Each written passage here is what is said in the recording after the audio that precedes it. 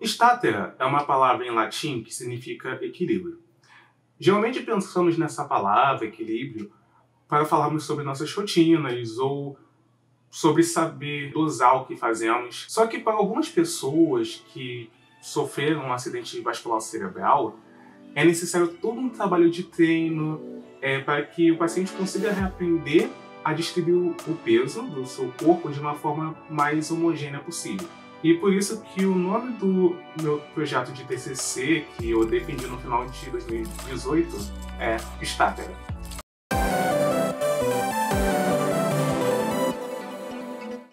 Olá pessoal, eu sou o Cadu e depois de 84 anos eu finalmente estou fazendo este vídeo falando sobre o meu trabalho de conclusão de curso como bacharel em ciência da computação. Uh, já faz um tempo que eu queria falar mais sobre meu lado desenvolvedor de jogos aqui no canal.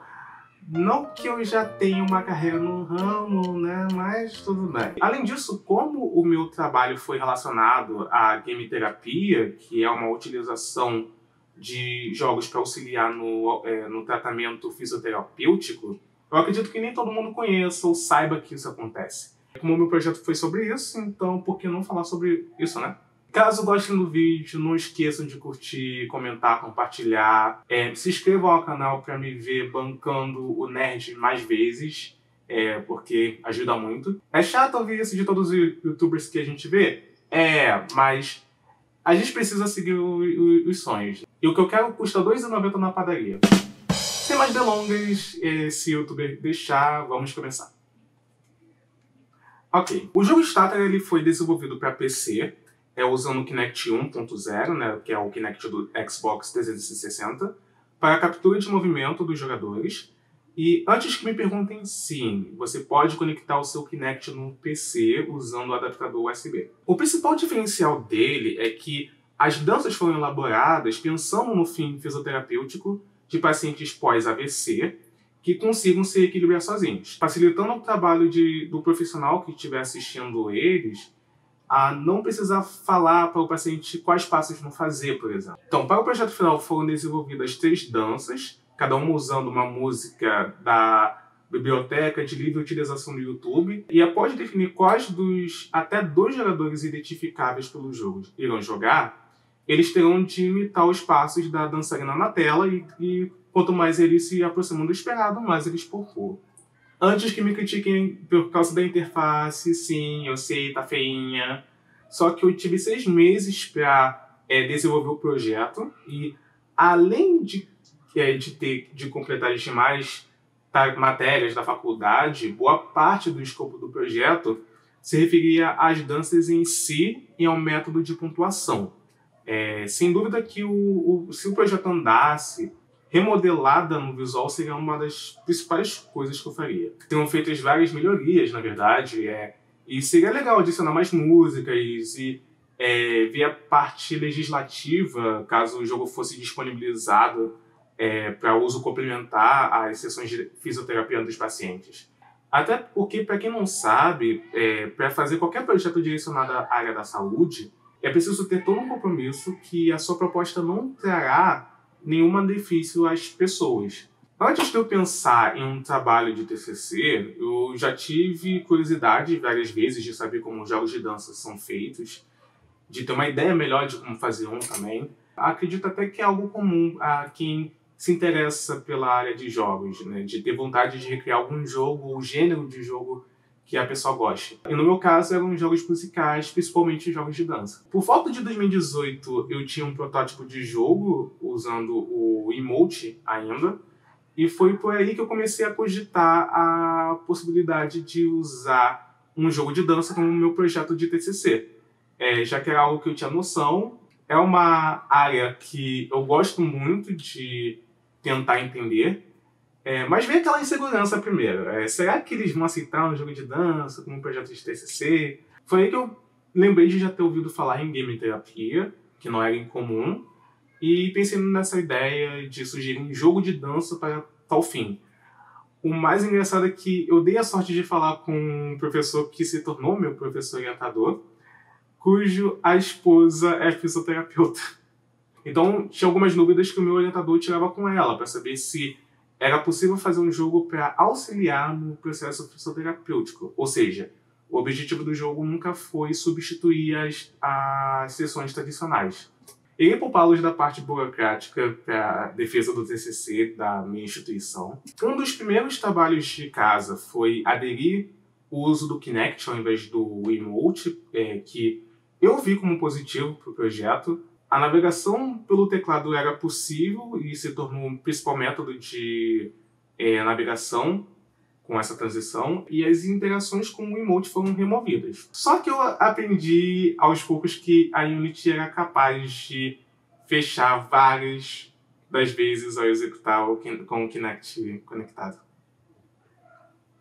Valeu, Unity! E não só isso, é... mas nas primeiras semanas eu precisei pesquisar muito, não só sobre outros projetos similares ao meu, que poderiam existir, mas também sobre game terapia e sobre os, as possíveis patologias que seriam um alvo para desenvolver o projeto. Foi com tais pesquisas que eu vi que pacientes pós-AVC podiam precisar de fisioterapia, que existiam estudos sobre o uso da dança para auxiliar tais pacientes e seus benefícios. É, fora que o quantitativo de pessoas abaixo dos 40 anos que sofrem um AVC tem aumentado. Então eu escolhi AVC como a patologia a qual o jogo seria direcionado. Eu tive de usar estudos sobre dança terapia para criar um protocolo com as orientações que posteriormente foram repassadas para a coreógrafa e dançarina Jessie. É muito obrigado, Jessie, de novo. E depois que as danças foram criadas e gravadas, e aí, depois que a fisioterapeuta viu e aprovou, eu prossegui com o, a parte de edição dos vídeos e a parte da programação. Também foi boa a parte da pesquisa para eu ter uma melhor ideia de como o método de cálculo seria feito. Eu achei alguns trabalhos sobre o uso do Kinect para reconhecimento dos movimentos de alguém e usei como base para a criação do algoritmo de pontuação. O que me surpreendeu é, foi ver que, até onde eu procurei, eu vi alguns projetos acadêmicos, alguns até de brasileiros, é, feitos como ferramenta terapêutica, mas não achei nenhum que englobasse a dança. É, pelo menos não da forma que o Statra engloba. O mais curioso desse processo de desenvolvimento foi ter levado o jogo para testar em um dos laboratórios da instituição, o Lema, e que, mesmo receoso de que as pessoas não iriam querer testar um jogo de dança, que poderiam ficar envergonhadas, eu consegui convencer alguns discentes a, a testarem a pontuação. Não foi um teste requintado, eu fazia algumas perguntas, pedia para eles jogarem e eu observava como eles reproduziam os passos e como eles pontuavam.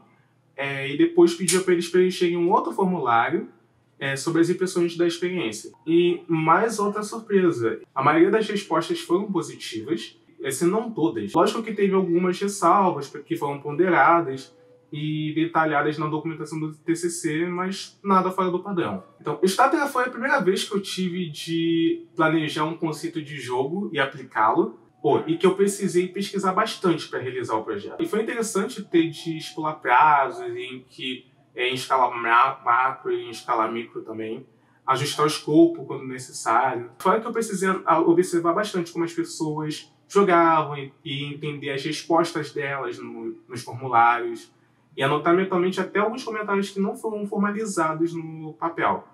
Né? No formulário, na verdade, não usei papel. Não foi a primeira vez que eu vi pessoas jogando algum jogo que eu fiz, é, mas ver as pessoas jogando e gostando de testarem é, foi algo bem gratificante. É, e eu sei, o ideal seria que outra pessoa fosse aplicador de testes, não é legal você ter um desenvolvedor ali, mas ou era isso ou não realiza testes. E eu não gosto da segunda opção. Eu até me arrependo de, na época, não ter seguido com o projeto, de não pensar em como eu poderia melhorá-lo, ou mesmo aplicá-lo no mundo real, por assim dizer, no sentido de ver clínicas que poderiam se interessar pelo jogo, de montar um time para continuar é, fazendo mais danças e expandir o jogo. Mas também na época eu fiquei um pouco frustrado com a minha nota, aquela coisa de quem se habituou a colocar muito o seu valor nas notas E eu fiquei ressentido com o projeto, mesmo sendo aprovado e elogiado pela banca e por quem assistiu a apresentação. Mas quem sabe no futuro, se alguma oportunidade acontecer de eu realizar algo assim, ou de eu revisar o projeto e melhorar o que pudesse melhorar algum dia. Nunca se sabe o que se espera de amanhã. Então, essa foi a história do Starter, o projeto de TCC que eu defendi no final de 2018. É, espero que vocês tenham gostado de ouvir e que inspire aqueles que ainda vão ou estão começando seus trabalhos de conclusão de curso. Boa sorte, vocês conseguem. De novo, não esqueçam de curtir, comentar e compartilhar o vídeo com seus amigos, se quiserem e puderem. E mais nerdices tecnológicas por essa vocês estão a caminho. Até a próxima e não esqueçam de seguir ligações com alegrias. Tchau!